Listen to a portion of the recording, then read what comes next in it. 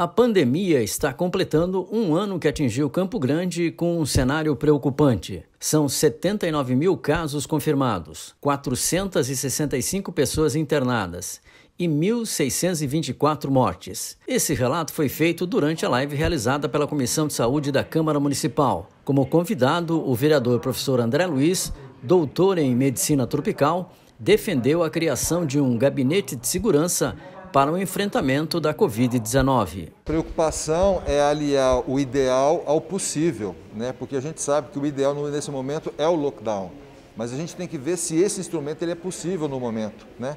porque senão a gente deixa de matar a população de coronavírus e acaba matando por fome. Na minha opinião, por exemplo, a gente está tratando o coronavírus como se fosse um vírus noturno.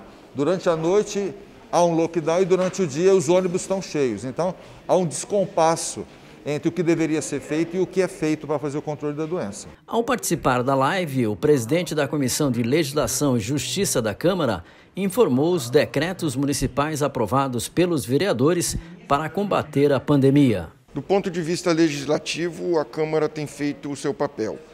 Tem aprovado vários projetos que facilitam ao Executivo Municipal a compra das vacinas. Foi um projeto já em sessão extraordinária no início do ano e agora recentemente a inserção de Campo Grande no consórcio dos municípios para adquirir as vacinas.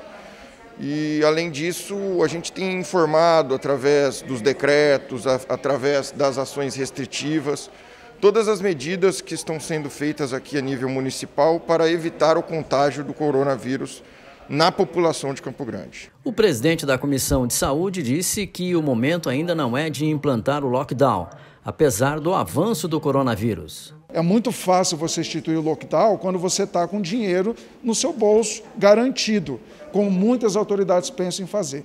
Mas a gente tem que pensar além. A gente tem que pensar que aquela pessoa que trabalha num dia para poder é, comer no outro, ela não pode ficar sem seu trabalho, sem sustento. O que, que é essencial? Essencial é aquilo que eu levo comida para o meu filho no dia a dia. A gente não pode achar que só a saúde é essencial, só a educação é essencial. Todo trabalho que leve dignidade para o ser humano é essencial.